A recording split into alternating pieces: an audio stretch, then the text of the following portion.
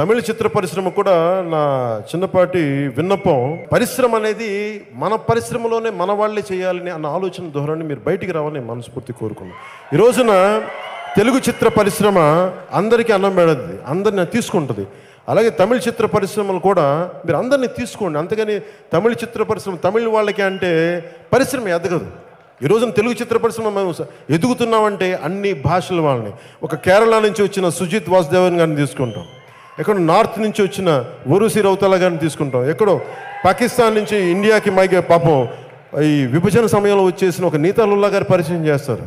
ఇది అన్ని భాషలు అన్ని కలయికలు ఉంటేనే సినిమా అవుద్ది తప్ప కేవలం మన భాష మన వాళ్ళే ఉండాలంటే అది కుంచుకుపోతుంది. నిన్న బ్రో మూవీ ఈవెంట్లో పవన్ కళ్యాణ్ మాట్లాడిన తర్వాత ఒక ముఖ్యమైన విషయం వెలుగులోకి వచ్చింది. అదే ఫెఫ్సీ న్యూడిల్స్.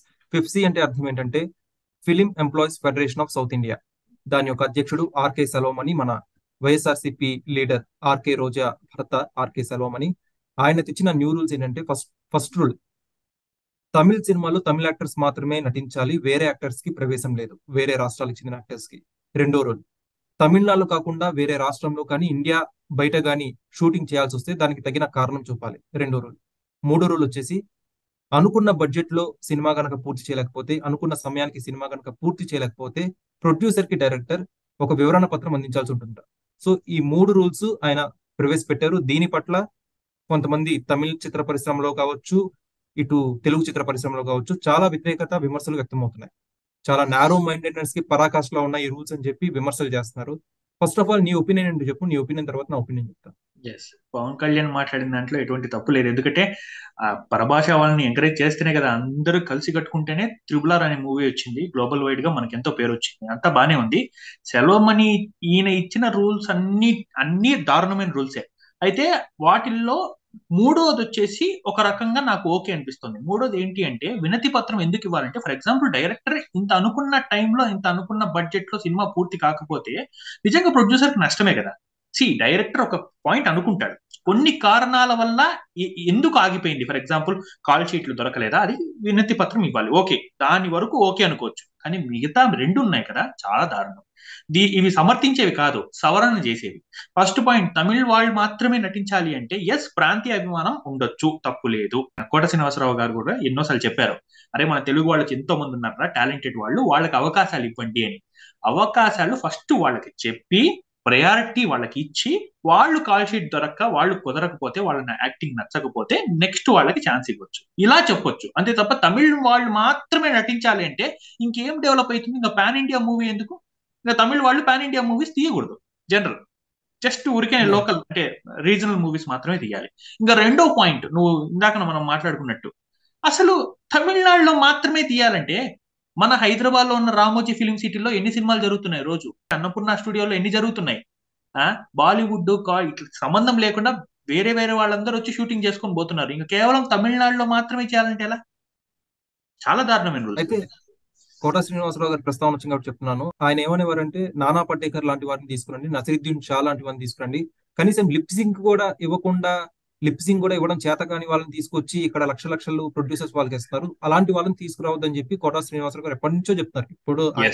అజిటేషన్ ఎప్పటి నుంచి కాదు ఎన్నో ఏళ్ళ నుంచి అదే మాట మీద ఉన్నారు. ఆయన మీద అయితే చాలా మంది ఈయన కూడా- కోపడ్డారు కదా.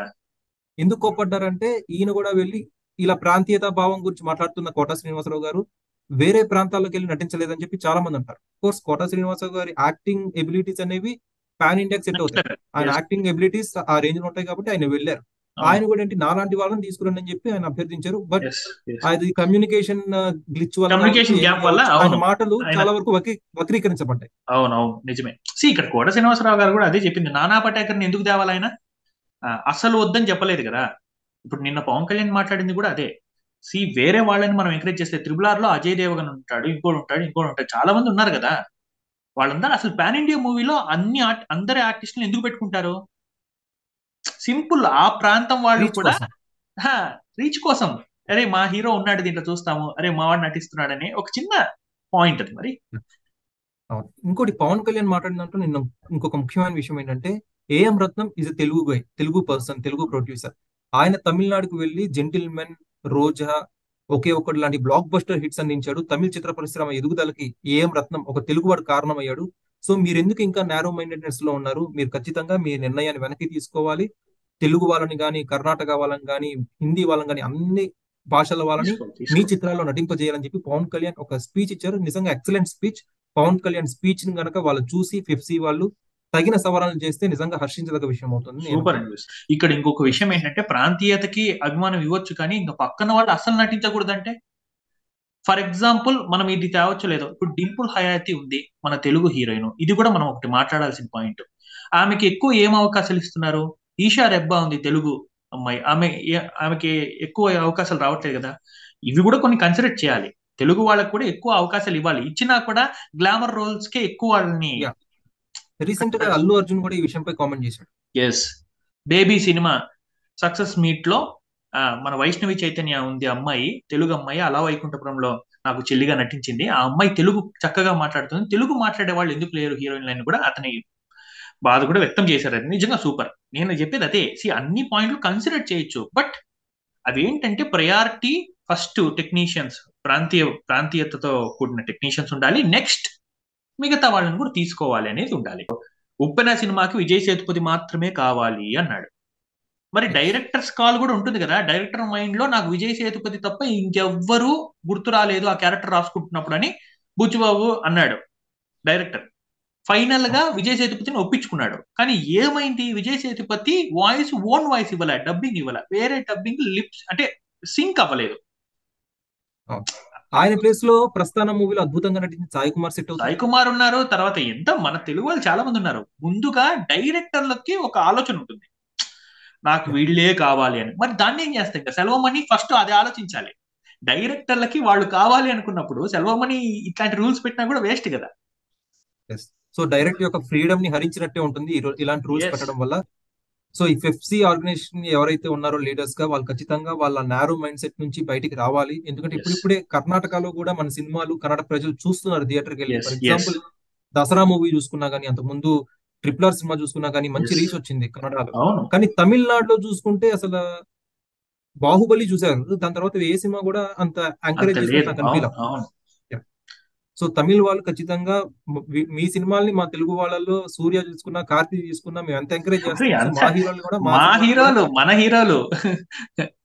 మన యాక్టర్స్ని కూడా మన హీరోని కూడా వాళ్ళు ఎంకరేజ్ చేయాల్సిందే. చేస్తే బాగుంటుంది.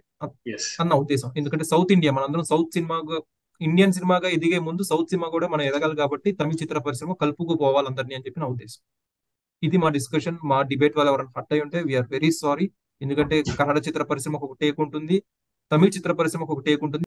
కానీ అందరినీ కలుపుకుపోయే ధోరణితో ప్రవర్తించేది మాత్రం ఏకైక Tollywood we're proud of our TFI ఈ. వీడియోపై మీ ఒపీనియన్ ఏంటో కామెంట్ సెక్షన్లో పంచుకోండి. Thank you